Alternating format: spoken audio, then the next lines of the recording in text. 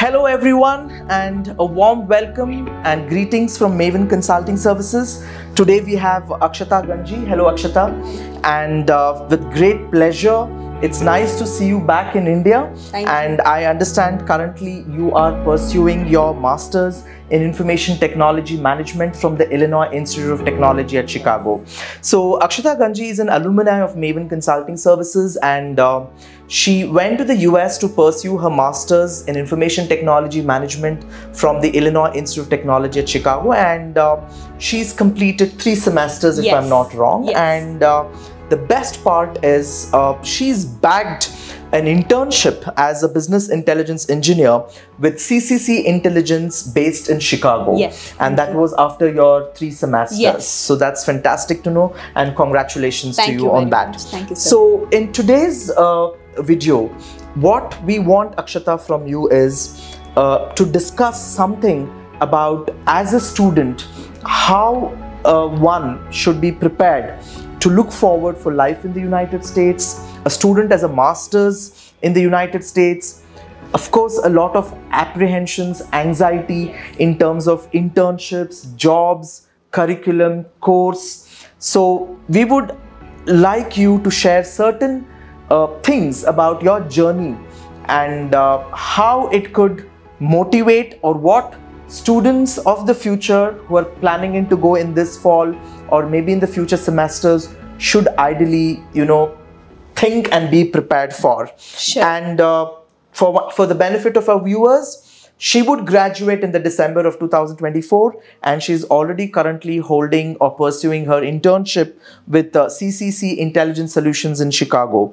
And uh, i should also congratulate akshatha on you. I got to know that uh, you held positions of teaching assistantships for two semesters at IIT Chicago, and that was amazing. Thank you. And you uh, tutored undergraduate students in subjects of advanced database and web application foundations. So we would also want viewers to know on how did you get that and a lot of inputs on it. Sure. So sure. if you're ready, uh, we can just go ahead and uh, first ask about how is the course of uh, Masters in Information Technology Management at IIT Chicago? Sure. Uh, so I'm currently pursuing a specialization on data analytics. Uh, so I have the option of choosing my own subjects from semester to semester. There are few mandatory courses like advanced database, web app foundation, which are really required, and also data mining. Um, I would say that those subjects really helped me to gain the required knowledge for the industry. I have also the option of taking optional courses like artificial intelligence and um, service oriented architecture, which will equip me uh, for the industry. Yeah, and coming to my master's experience, I started my master's in January of 2023, that is spring. So, yeah, initially, when I had the apprehension of how I will survive, what will happen, uh, how will I adjust to the new country, Like any student. yeah, like any other student, that is common. Uh, but as soon as I reach there, I try to figure out uh, my way out. Um, yeah, one thing I would mention is um, prioritizing is really important in an, an, an- another country. So here we will be pampered by our parents. We we wouldn't give much importance to our personal True. care. But whereas when you go there, you're completely on your own. You have to own up your things and you have to take that responsibility. It, it becomes really important for you to prioritize tasks and uh, um, I try to avoid procrastination as much as possible. I had this habit of procrastinating when I was back here because I was pampered by my parents. Obviously, yes. Yeah, but whereas when I go there, I realize the value of time. That is the major thing. Uh, I would say that academics and uh, personal care is really it. It, it's like an overall development which you undergo in your masters. So uh, instead of telling that masters is only about academics, I would call masters as an experience. It's an overall experience and it trains you in a perfect way. True. And what was your bachelor's degree in? Uh, I did my bachelor's in computer science. And which college in India did you do your bachelor's? From Dayanand Sagar University. Okay, and then you thought, uh, did you work before your before starting your masters? Yes, yes. Okay. I worked for about one and a half year with Accenture. okay.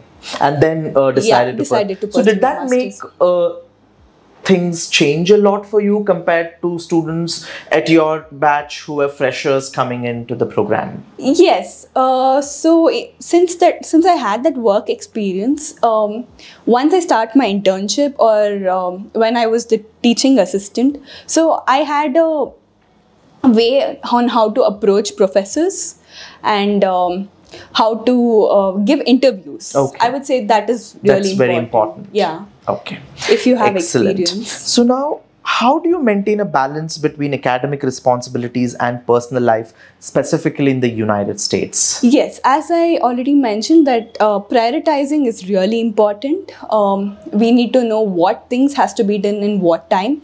So um, over there, we are um given a deadline for assignments, and over there, time is really very important. If you do not submit your assignments within that time frame, you might lose marks, or you might be even given a zero. Oh, okay. Yeah. So it is really important how well you um, organize your time schedule. Um, but I, with that, it's also important that we give importance to our personal time, self care. True. So within my day day frame, um, in the first semester, my college used to be uh, around in the morning time. So I used to come back, cook, and then um, make networking. Networking is really important. Um, I used to give time to my friends. After that, uh, whatever assignments were there, uh, we used to discuss and then uh, go about with our own assignments. And one more thing I would mention is uh, if it is group assignments, discussing is good. If it is not, owning up to your own assignments is really Very important. The rules and regulations over there are very strict. In terms of plagiarism. Yeah, plagiarism. Okay. Yes. If they find out that This you has are been a copied yeah, material or And an uh, outsourced material. malpractice or anything, Okay. um, they really don't. very serious yeah, consequences. Very serious consequences. Okay, okay.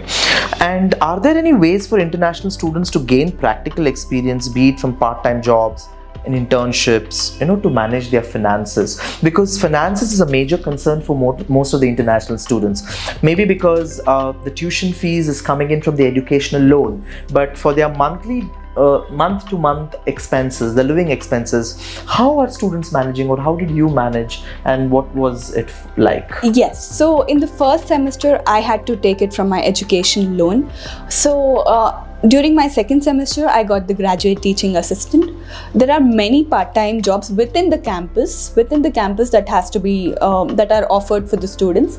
For that, I would say that networking is really important. So from our seniors, if they refer us, we uh, Get jobs faster? Get jobs faster.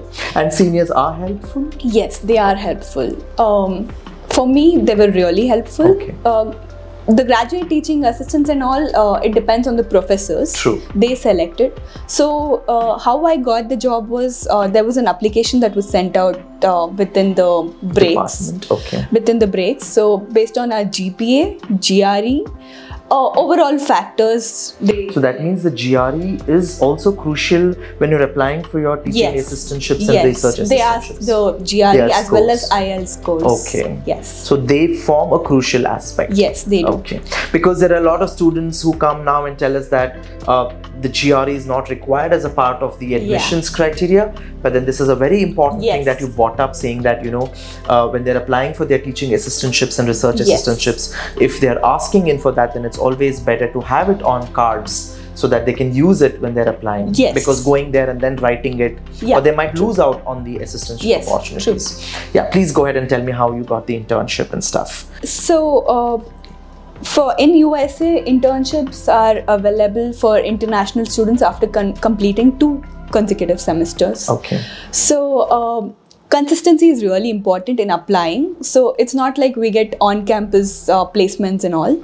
We have to apply, we have to own up things. We have to apply through LinkedIn and various job portals. So there are job portals Yes. which, and does the university support for this in any ways? Um, there is a separate career services that uh, department which has been allocated by I think each university. Okay. So if we go to them and approach on how to tailor our resume and how well we can confidently present ourselves, they do help. Oh, wonderful. Yes, Okay. they do help. But ultimately, it's on you Yeah, to look out for us. options and opportunities and yes. grab them. Okay. And uh, the, as I already mentioned, consistency is really important in applying, and we have to try to make many networks as much as possible.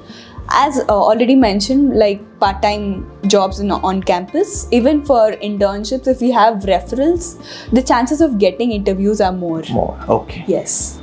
Uh, otherwise, then it's job portals and networking. Yes. That's the primary thing that everybody has to focus on. And how early should they start this networking? So right after, I would say right after they start their masters. The, the day one they land. yeah the day one they land as well as i would say that uh, they can um, up, start applying once they reach their second semester Okay. yeah uh, within because after second semester is when we can You have the summer yeah, break, and that's when you ideally want ideally to want to ideally we can start our Start your internship. internship. so um, once we reach our second semester uh, we can start applying and every day for me i applied about around 20 applications every day. Every day you were submitting in about 20 Yes. applications. Okay. Yes, and not just applying, it has to be quality applications as well. Yes. You have to make sure that um, you're you have mentioning uh, correct summary okay, Everything. Okay. and That's you're very yeah, important. and you're trying to bring yourself up from the other candidates Okay. because it's a obviously it's it's Yeah. it's a big world out World, there and it's very very competitive so until unless you stand out from Yes. the other applicants uh, the calls may not come Yes. in and uh, you said there were 20 applications going in every day, Every day. and that phase must have been very very Yes. uh, difficult and a kind of a nightmare Yes. for you okay sounds interesting now uh, coming back to part-time jobs that the students do on campus with the money that they get from that um, will they able to manage their living expenses uh, if it's a shared accommodation yes and people are staying together and they want to cut down the cost Yes, uh, yeah, we can maintain our uh, monthly rent. For me, uh, in Chicago, the monthly rent I sh- I stay in a shared accommodation. It comes about uh, 500 USD. and what all does that include Um, it includes the Rent. monthly rent and the utilities. utilities okay And um, about electricity bill, everything is separate. separate Yeah.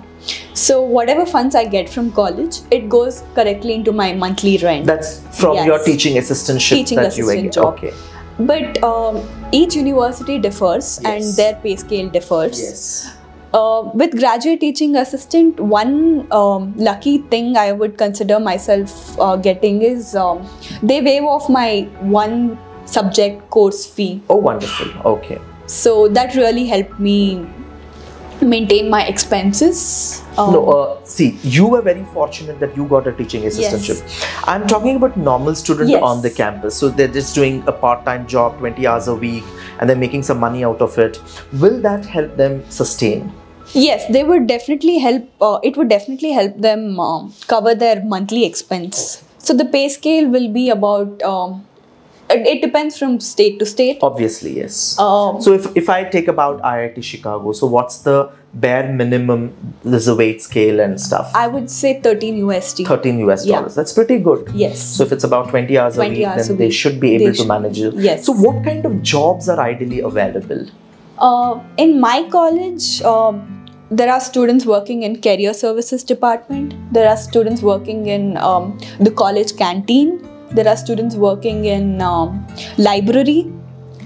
Um, each and every department, there are students working in the um, sports department. Oh, oh, wonderful. Yeah, Okay. so we get chance. That is based on how well we network and True. present ourselves. So you mean to say for part-time jobs as well, we need networking. Yes. Otherwise, it becomes Yes. difficult. Uh, so there are a lot of uh, introverts who are not very very expressive, Yes. outgoing, and this is something very new to them. Yes. They go to the US and. Um, they, they're not good at networking. So, what are some tips and suggestions you would give such students? Um, I would say that once they reach US or uh, once they're into any other country, any other country, once they uh, reach for their masters, um, it's important for them to um, express themselves because even during my internship interview or anything, uh, it is important for us to bring ourselves out. Um, it is important to network with people, be it their own roommates. They can ex- they. It is very important that you express yourself, what you want, what is your necessity. Otherwise Yeah, they are left alone and left then alone. nobody would come Yes. to help them so the give the the major takeaway here is um, whether they are introverts or extroverts until and unless they express themselves and they seek out uh, Yeah, seek I out the people yeah people will not readily Yeah. come and just knock on your Yeah. door is what you're trying to say uh, I would say that we have to ourselves uh, take that knock on the initiative nobody will come Yes. and uh, you know help you with all of this that's wonderful so now um, you're going to start your internship and i'm sure uh, you've worked past here in india with accenture and stuff and all of that so what are actually employers looking for out of graduate students when they're trying to recruit them for internships or postmasters when they're recruiting them for opt and stuff so what is it that employers are really looking at Uh, it is the skills. It is the skills which candidate pursue. Um, it is really important to have skills like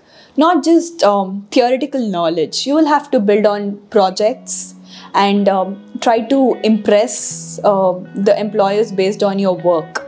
You have to show showcase that how capable you are that you will be fitting into the right job okay yeah, so for me, I also underwent many certifications uh, and I did projects in Tableau. So my specialization was data analytics and, and I wanted to pursue a career based on data analytics. So you did a lot of certifications Yes, um, apart from your regular curriculum, Regular and curriculum. projects also. projects. So I was briefing through many um, course portals like Coursera. I did a course on Tableau and uh, tried to showcase uh, Tableau uh, desktop and Tableau public. I, I published my works on Tableau public and also LinkedIn. LinkedIn forms a really Yes, important yes. um, website for us to showcase our um, projects. It will be visible for recruiters, and also I would suggest that uh, students can publish their work in GitHub. Okay. That is GitHub. also important. Okay. Um, So these are some of the websites that should really be working yeah. towards uh, publishing their work so that things Yes. get a lot more, More easier for, visible for- visibility. And having said that, uh, once you're shortlisted, how does the whole interview process takes place with the employer? So over there, it depends from company to company. Few companies have aptitude test in the beginning, like India, Okay. whereas few companies have um, uh, around five to six rounds of interviews for even an internship. Okay. Uh, for me, I had about three rounds of interview. Uh, the first was screening round from the HR. The second was um, a technical round. So over there, I was presented with two panel members. One was the um, technical uh, manager, whereas one was the HR, and um, one more was um, I think um, it was the uh, technical lead. Lead. Okay. Yeah, technical lead. So uh, there were questions for me based on my experience more, um, and what all Experience projects. at Accenture you're talking about? no, experience at how um, I completed the courses Oh, and what. I learned from the courses, uh, based on the projects which I showcased. Yeah, there were experiences. Uh, there were questions based on my Accenture experience as well Okay. Uh, yeah, even that forms an important factor on your past experience. But what I would say is how well you present yourself. Uh, initially, even I was nervous when I was giving one or two interviews. But what I see from those rejections were how. Uh, So you did have rejections? Yes, I did have Okay. rejections um, in about one company. Okay. Uh, it depends. Like one company rejected me based on telling that uh, they didn't have budget, True. and one based on um, um, the role. Okay. This company, I had uh, set my goals that um, I'll have to do. I have to outcast. Somehow, yeah, yeah. outcast my work Correct. yeah i had about about two to three weeks of preparation time, Uh, then i uh, approached the seniors Okay. who were in the same field Okay. uh, I asked how can we um, Really outcome- yeah, leverage or prepare. prepare on the interview and um, what work might impress and not just impress. How can we showcase our um, uh, work? Yeah, projects. So in those two to three weeks, I did about two two or more couple of projects. I published them on And all these Public. projects are done on your own, and then you publish them on Yes. this GitHub and stuff and all of that. Uh, yeah, I also showcased the group projects which were done with um, your batch my peers Okay. in my uh, university. Whereas for the interview, I specifically did about two to three separate projects, uh, seeing YouTube videos, the Coursera uh, website, and everything.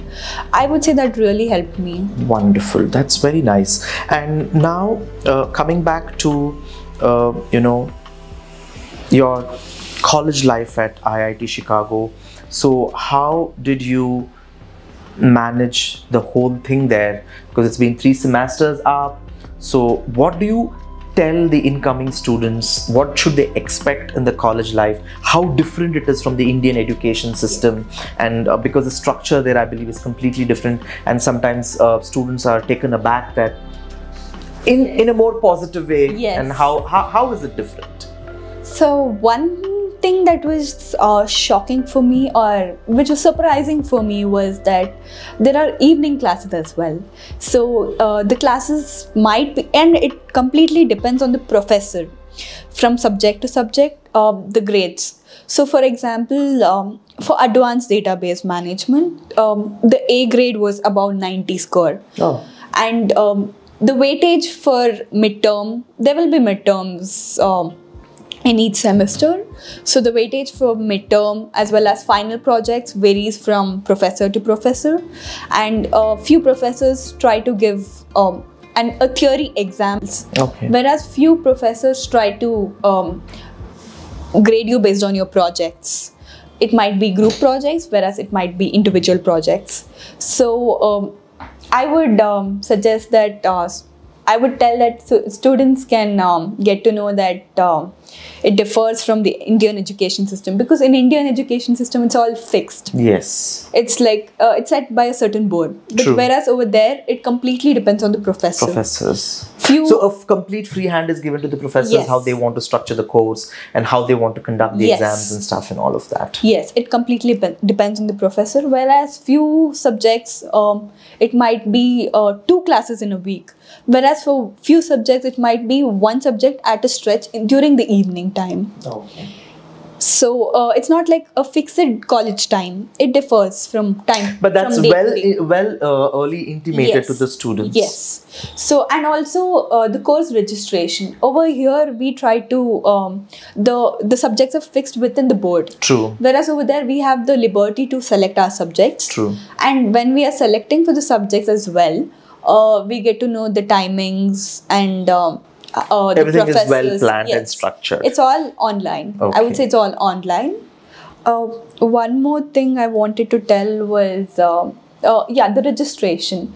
So for a certain subject, there might be only few seats available. Okay. So the timing of how fast you register, How quick really- you are yeah. and realizing that that's a course. And do uh, university professors or your advisors at the university help you what courses you should be choosing, Yes. or it's completely on your call? No, uh, it it they do help. They do so help. there are faculty mentors allocated for each student. You can uh, set up a meeting with them, and um, they'll ask you what your passion is, what you want to be, and um, what career path you're choosing. So based on that, they'll suggest. You can take their suggestions. Okay, so Yeah. there is a guidance provided, Yes. and then students can probably Yes. take. Okay, so now um, I think we've gotten a lot of insights on the whole journey and uh, stuff and all of that. What's one thing that you like the best of the American education system, and one thing that you really hate about it? Uh, one thing I like about the American system, education system, is the liberty. Uh, there is no like fixed timings. Uh, you can walk in and um, you can approach professors it's not like they they grade you based on your uh, only performance or anything it's how well you communicate with the professors and uh, How much you involve in the course. involved in the coursework you have the liberty to, to approach professors without any fear or anything which is predominantly very very evident here in the Indian education Yes, system the where we are even scared to talk to yes our the fear professors. is not Yeah. there Okay. so uh, the professors try to make you really comfortable they're really friendly with you uh, they treat you like you, their own age Okay. And what's one thing that you really hate about the American education system? um, one thing i hate would be um, probably the lenience again okay. yeah. Because a lot of them would misuse it. Yes. Okay. Uh, there are a lot of people. When I was into undergraduation, uh, when I was uh, teaching the undergraduate students, there were many students who were uh, taking it very lightly. very lightly. Uh, and uh, there were students who were asking for extra marks. Oh, okay. So, So that also happens. yes, that also happens. But as a teaching assistant, I have to. Um, there are certain rules and regulations, and I have to abide by that. Oh, wonderful. So within your boundary is what you will have to make sure that everybody is. Yes. What do you miss from India the most? Um, I would say the actually I would say the fixed time Okay. line. The That's what you miss from. India. Yeah. Okay. That's fantastic to know. So now, uh, what is the most important thing that the incoming students should really keep in mind the moment they land in the US? Because now uh, we have in August the fall 2024 students immediately, you know, reaching the campuses and stuff. So what is some useful tips that you would give that you felt that oh this was something that uh, I really faced trouble with, but then those tips might help our incoming students. Yes. So as soon as I landed over there, I didn't um, exactly know the importance of uh, on-campus jobs. So probably if I had approached my seniors uh, within the first sem- uh, first week of landing, um, I would have probably um, gotten into any on-campus job with- Faster. faster. Um, so I uh, took it lightly in the beginning. I was like, let me just settle, let me see how it is. So I would suggest uh, the incoming students to uh, try to connect with your seniors from here itself. Uh, there is many job, uh, many portals like LinkedIn where you can search the students. From that specific university, they can get in Yes. touch with, and I And think also- uh, they also have Facebook groups, if I'm not yes, wrong. Facebook groups as well as uh, there is uh, groups within the university. They try to like the uh, Indian Students Association or the International Yes. Students Association. International stuff. Students Okay. Association and stuff. And they can which- reach out to them, and they can. Yes, you, you can reach out to uh, your seniors when you are in India, and you can try to get to know more about your university and how um, well how faster you have to be for the registration and the campus. Can you campus. give us some inputs on accommodation? That's a major concern for most of our students. How do I find accommodation even before I reach US, and where do I look for? And a lot of them are saying that the shady scenes happening, uh, landlords. You know how, how genuine Yes. they are. That's a major concern for most of the students. Yes. So uh, for me as well, I did not find an accommodation before reaching US. So once I landed, I had my um, I had my cousin staying. I had my friends. You were fortunate, but everybody Yeah, doesn't have yeah. a cousin staying. Yes. So for such students, what is that you would tell? Um, there are various groups, WhatsApp groups that are available. So try to contact your seniors and try to get to know um, what kind of accommodations are available. For me, uh, for in Chicago, it's all apartments. For IIT, uh, there's it, it was about 20 minute walk from my accommodation. Um, whereas from university to university, It it, differs. yeah. It differs. So uh, it might be an individual house where you're sharing with with five, six people. There Is might that be, legal? uh, if everyone are on lease, it's legal. Okay. Um, it is really important that When they're signing in a lease, what are some of the important things that the student should be really careful about? when you're signing the lease, um, you should be sh- uh, sure that you're the people you're choosing they're genuine. Genuine yeah, they're genuine and trustworthy. trustworthy. So there have been many incidents in US where uh, they they've faced roommates issues where people just barge out within half of the month, and the expenditure entire house expenditure comes Falls on you. Yeah, Theft. theft. Yeah. Yeah, there have been many cases where um, your personal belongings have been Stolen. stolen. So I would say that know who you're moving in with. And if possible, I would really suggest everyone to sign on lease uh, until you know you would know until when you would need your accommodation. Uh, and based on your budget, see if you if the shared accommodation works or if you want a private accommodation. But the private accommodation would be turning More. in expensive. Yes. So always a shared accommodation. Shared accommodation. I would prefer. I mean, uh, for me, shared accommodation always worked worked. Yeah. Okay. Okay. So that's uh, some very valuable inputs, um, Akshatha. I think uh, for the benefit of our viewers, if somebody is going to IIT Chicago and uh, if they get in touch with us, um, can we share your email Sure. ID? And uh, if any sort of help is required, would you be more than happy to Yes, assist with that? yes, I would For the incoming be. students, if Yes. anything specifically for IIT Chicago, because you are in Chicago, you're going to do your internship there, and you've studied three semesters already there. So if somebody wants any sort of help, you know, uh, I think uh, we would be much obliged if Yes, uh, yes. somebody is requesting to connect with you. Uh, we will definitely only uh, share the email IDs uh, with your uh, permission, Sure. so that you know if anybody needs any sort of help in terms of the initial days if they have to know about the city the transportation the campus or accommodation. I think those are the initial worries that most of the students have. Thank you akshatha. Thank you so much. It was a pleasure that um, you were in india and you caught up with us and we could do this. And uh, we'll definitely keep in touch with you and we wish you all the very best you. for your future and i hope this internship gets converted to a full-time OPT so and uh, we would be more than happy to be part of this journey thank you Thank you. Yeah. I would also like to make uh, make a special Yes. uh, thanks to Rajshekar sir and my counselor was Kiran sir. Uh, it uh, Maven has really helped me uh, shape my future. Um, I was worrying about my visa, everything, but uh, everything was uh, really smooth the because of, pleasure is ours because of Maven. Yes, thank Yeah. you. Thank you so much. And these words coming in from you really motivates us to keep doing better and better Yeah. every year. Thank you so much, Akshatha. Thank you. Yes, thank you. Yeah. Thank you so much.